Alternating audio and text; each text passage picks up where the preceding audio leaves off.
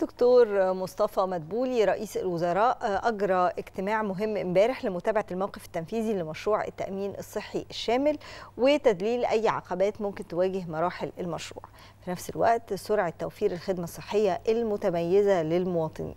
خلينا نعرف تفاصيل أكتر من الأستاذ حسام صادق المدير التنفيذي لهيئة التأمين الصحي. صباح الخير على حضرتك أستاذ حسام. صباح الخير أستاذة منى صباح الخير أستاذ محمد. يا أهلا بيك يا فندم. البداية فكرة تقديم خدمة محترمة للمواطنين بسرعة. دي يعني أعتقد هي دي الفكرة اللي قائم عليها مشروع التأمين الصحي الشامل. بالتأكيد هو مشروع التأمين الصحي الشامل الجديد الهدف من وراه هو رفع كفاءة الخدمة وجودة الخدمة اللي بتتقدم للمواطن المصري.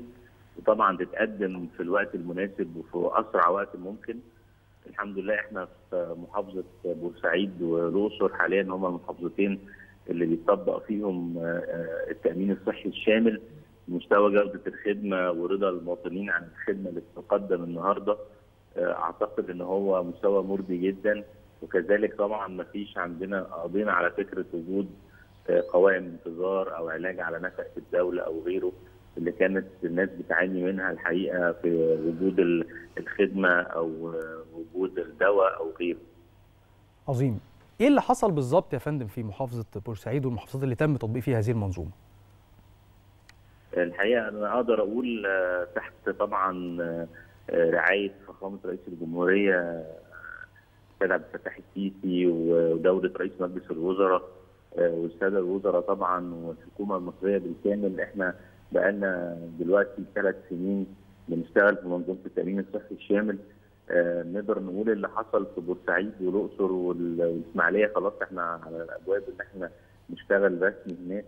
نقدر نقول والله إنها ملحمة كبيرة لأن حضرتك لو تروح تشوف حجم الإنجازات اللي اتعملت في المحافظات دي فيما يخص رفع كفاءة المنشآت الصحية اللي كانت تابعة للدولة غير المنشآت اللي تم بنائها من أول وجديد على أعلى مستوى النهارده في في الكفاءة وأعلى مستوى النهارده من الخدمات والأجهزة الطبية والإمكانيات اللي خلت النهارده فعلا مصر في المحافظات دي. وإن شاء الله بعد اكتمال المنظومة نكون موجودين في نقدر نقول على نفس مستوى دول العالم المتقدمة وده مش بشهادتنا بس الحقيقة بشهادة المنظمات الدولية اللي جت وشافت بعينيها ونزلت معانا على الأرض.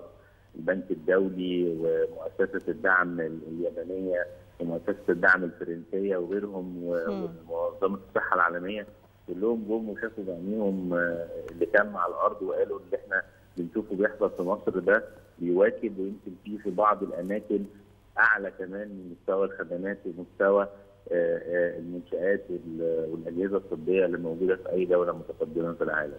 طيب مش معقولة الأمور هتمشي سهلة كده بسيط أكيد هيطلع في عقبات بتوقف الدنيا شوية أو بتبطئ الوتيرة اللي ماشيين بيها. إيه المشكلة اللي ممكن تكون بتواجهنا دلوقتي؟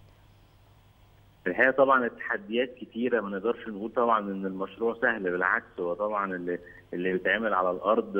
زي ما قلت لحضرتك إن إذا كنا بنقول كده إن في بعض المعجزات بتحصل ولكن في الحقيقة هو طبعا في تحديات كتيرة الأزمة الاقتصادية اللي بيمر بيها العالم النهارده والوضع اللي خاص بالحروب بالحرب اللي حاصلة في روسيا وأوكرانيا. كل ده مأثر علينا بشكل كبير جدا لأن طبعا آه نقدر نقول سلاسل الامداد اللي خاصة بالتكنولوجيا والنهاردة حضراتكم عارفين إن كل الأجهزة الطبية النهارده بتشتغل بشكل إلكتروني كامل.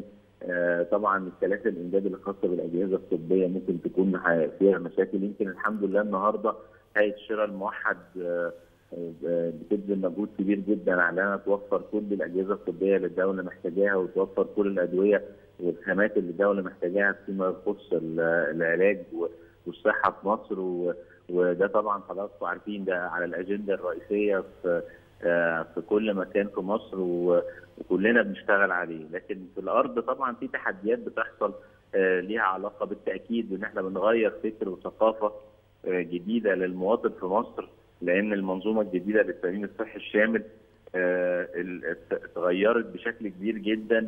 عما هو بيحصل في أي محافظة ثانية حضرتك يمكن متعودين كلنا لما بنتعب أو حاجة بنروح نتصل بأي دكتور نعرفه علشان نشوف إحنا عندنا إيه. النهارده نعم. حاجة اسمها طبيب رعاية أولية وطبيب أسرة والمواطن بيتصل بالكول سنتر علشان ياخد ميعاد من الطبيب ويروح آه، لطبيب الأسرة يكشف عليه وإذا كان محتاج تحويل للمستشفى بيتحول. وطبعا في فكر بيتغير على الأرض آه، مع المواطنين كمان عن إن هم يستوعبوا فكره طبيب الأسرة وطبيب الرعاية الأولية وغيره. عظيم. طيب أستاذ حسام حضرتك ذكرت إنه بيتم إعادة تأهيل مستشفيات وتطوير مستشفيات بالفعل قائمة سواء مستشفيات وزارة الصحة أو المستشفيات الجامعية. ماذا عن مستشفيات المستشفيات الخاصة؟ وهل هي بتدخل ضمن المنظومة ولا إحنا بنعوض وجودها بإنشاء مستشفيات جديدة؟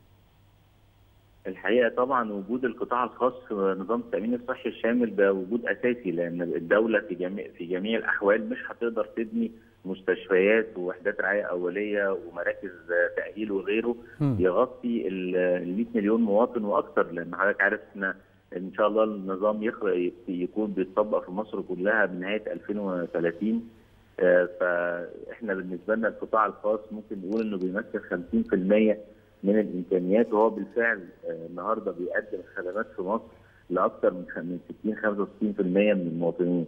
وبالتالي الدولة النهارده في كل محافظة بترفع كفاءة المستشفيات الموجودة بتبني مستشفيات جديدة بالفعل ووحدات رعاية أولية جديدة ولكن عشان تغطي ال- ال- الخدمات الأساسية للمواطنين. ولكن القطاع الخاص دوره كبير جدا في إن هو يقوم بتكملة الخدمات ال- المطلوبة نعم. حاليا في بورسعيد وفي الاقصر وفي الاسماعيليه القطاع الخاص متواجد لكن أن نتوقع إن وجود القطاع الخاص هيكون متواجد بكثرة أكثر في المحافظات ال- الأكبر كعدد سكان واللي كان معظم مقدمي الخدمات الصحية من القطاع الخاص في مصر مركزين عليها قوي زي القاهرة الكبرى واسكندرية و- نعم. كل الشكر ليك الأستاذ حسام صادق المدير التنفيذي لهيئة التأمين الصحي الشامل